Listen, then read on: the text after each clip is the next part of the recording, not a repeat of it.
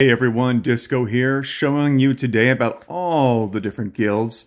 Now you can see right here a list of all the guilds. All right. Uh, now each of these you can see under the level section. Let's sort by level. You can see what level is actually needed to get into all of these. Now the only one that's a little confusing would be the Forest Master Guild Permission, which says 50 fletching, but it's on top of 80 woodcutting. Okay, just so you know. Okay, let's go ahead and pop out of that, and let's go down into the Mining Guild just south of Dorpat. Now, this is the one that kept confusing me when I first started. I kept wondering, why couldn't I go down that weird little ladder? Well, found out it was a guild.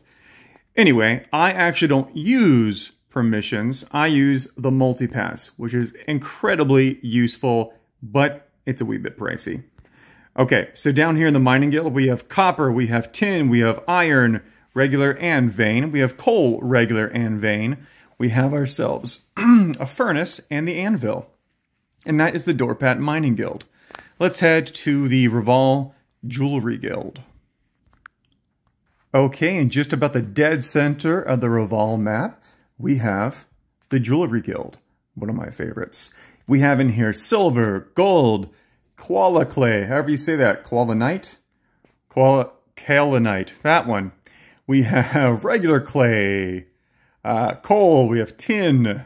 Oh boy, I lost track. I think I said them all. Anyway, we also, of course, have the furnace. Okay, now let's head over to the Woodcutting Guild, closest. Okay, here we are in Mosh 1, and starting at that building that you are in the center of there. Let's go down to the Wood Cutting Guild. All right, now down here we have willow, blue palm, spirit, oak, uh, maple, some fir even, which doesn't make much sense because fir is everywhere, but you know, whatever. It's where they keep the trees. And this is the Wood Cutting Guild. Let's head over to the Fishing Guild in Fellin. Okay, here we are in Narwa. To get to Fellin, thought I'd explain this too, why not? Oh, hey, Zor, how you doing? All right, so get your ticket from this fella to be able to actually go to Fellin. Now, what's awesome is the multipass actually counts for the ticket. All right, so here we are, and we're going to go all the way down south. I'll see you down there.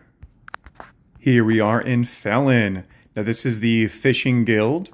Now to get in, use this door, and to leave, you lose you use the other door. Don't know why that is, but so it is. Oops. There we go.